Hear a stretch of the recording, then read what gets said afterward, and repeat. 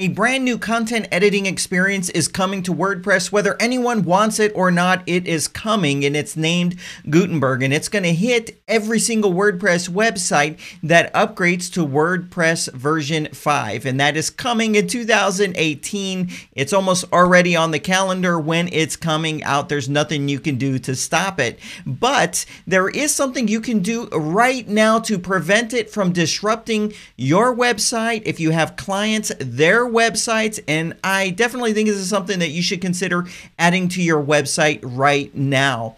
Hi, my name is Adam from WPCrafter.com, where I make WordPress tutorial videos for non techies. If you're new here, consider clicking on the subscribe button. If you don't want to miss a thing, click on the notification bell. Now, let me just jump in and say one thing I'm not against this new content editing experience. I've been using it a lot for the past week, and I actually kind of like it. There's some things I definitely don't like about it, but it is a drastic change and it could really cause some friction for your clients if you have clients or for you if you're not quite wanting to go through this learning curve and and experience this change on WordPress's schedule. If you want to go through it on your schedule this is the video for you. So I have a site right here and what I'm going to do is activate Gutenberg and then I'm going to show you what you can do but see here's why you want to consider this okay Gutenberg is going to change the way you add content to your website and it's going to be different at first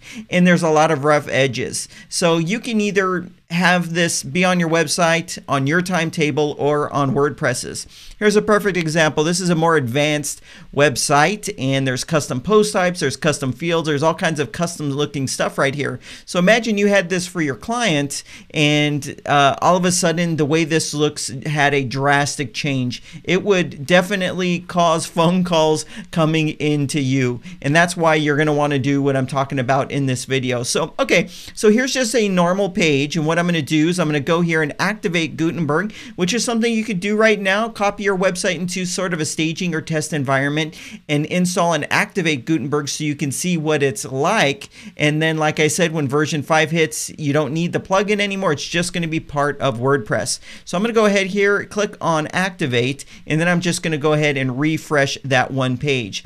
So here I am back on that page. Now this is what, when I refresh it, this is what every single page in WordPress is going to end end up looking like pages and posts.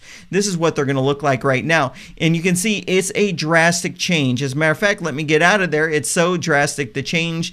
You know, there's a lot of things that aren't where they used to be. Now, I will tell you, I've been using Gutenberg. I've already tested it on my website. I do like it. There's just some rough edges, and I'm not convinced that they're going to be smoothed out by the time this thing is set to launch. My biggest gripe right now is you don't have screen options. You used to have a, a tab here in the top right and you can click on it and you could rearrange things. You can hide some of these option boxes. You don't have that anymore. Okay, so this is what looks like when you have Gutenberg, but if you install this plugin called Classic Editor, and you can install it right now, it will not harm your website. And when WordPress version 5 hits, what this will do is it'll make it so Gutenberg is not actually used on any of your posts or pages. And what this is going to allow you to do is when you are ready to spend the time, or when you are ready to go in here and have Gutenberg on your website, it'll be on your timetable.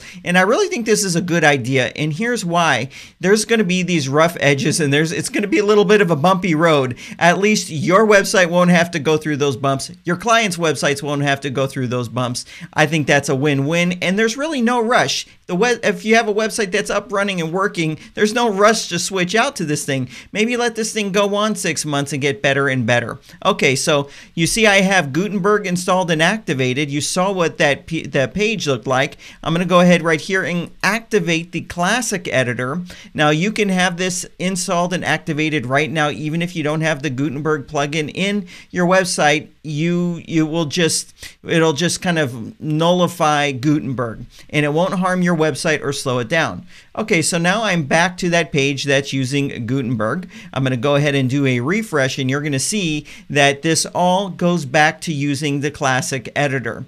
So the point of this uh, this video right now is to let you know this is something that you can do right now. You can go to your website, you can go to all your clients' websites and install the Classic Editor plugin. It won't cause any problems today. And when WordPress 5 hits, you have nothing to worry about. When you are ready, you can go in there and you can deactivate Classic Editor and then you can begin using Gutenberg on your website. It's Gutenberg's gonna, it's great. Okay, I've been using it. I like some aspects about it, but it's going to freak people out because they're not ready for it, they're not used to it. And all these little plugins that you might be running on your website, they're not all compatible yet. There so there's going to be some rough edges, but I don't want you to have to deal with downtime, with confusion or any of that. I want your website to stay up and run smoothly. Okay, so I wanted to say that this is going to be Gutenberg Grand Central Station soon. Gutenberg's going to be in every one of my tutorial videos, and I'm going to have a ton of specific videos on Gutenberg to make sure everybody that is a viewer on this channel is fully prepared when Gutenberg hits. So that's all that I have for you in this video. If you found value in this, consider giving it a thumbs up and remember to subscribe and hit the notification bell. That's the best way for you to find out when I have new videos. If you have any questions about the classic editor, go ahead and leave them in the video description box. But here's the thing, what would be really nice is if you had specific questions about Gutenberg that you'd like me to answer in a video, I would love to do that for you.